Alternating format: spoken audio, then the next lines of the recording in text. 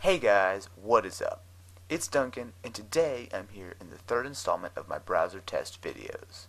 Previously, we went over the latest versions of all five main browsers, Internet Explorer, Firefox, Chrome, Opera, and Safari. In that test, Google Chrome came out on top, but with two major asterisks, namely privacy and the lack of add-ons or more than even a few handful of themes. Since then, Opera has undergone a major overhaul, Firefox has moved to version 3.6, and Chrome has jumped to version 4. So let's revisit the browser comparison test to see what all has changed. Let's get this one started.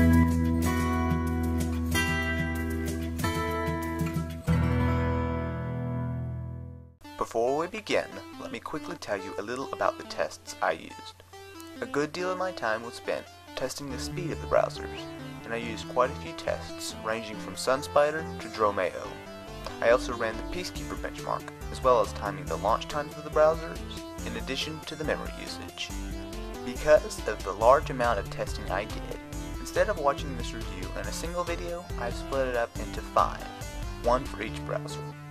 In a moment, the browser logos will appear on your screen, with annotations that will lead you to each review of the browsers. Pick whichever browser you want to know more about, and watch the video to see how it placed. Then, when you're done, follow the annotation back to this main video and watch the next browser in the series. Feel free to check out whichever browser you want right now. If you don't see links around the logos, make sure that annotations are turned on. If you are on an iPhone or don't see the annotations for some other reason, you can check the description where I will have links to watch each video.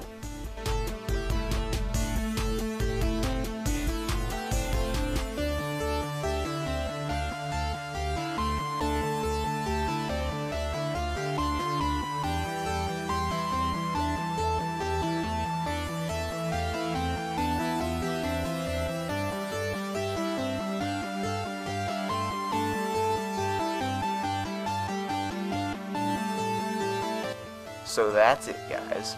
Personally, I was very surprised about the outcome, but nonetheless I highly recommend you at least take a look at the winner. You won't be disappointed.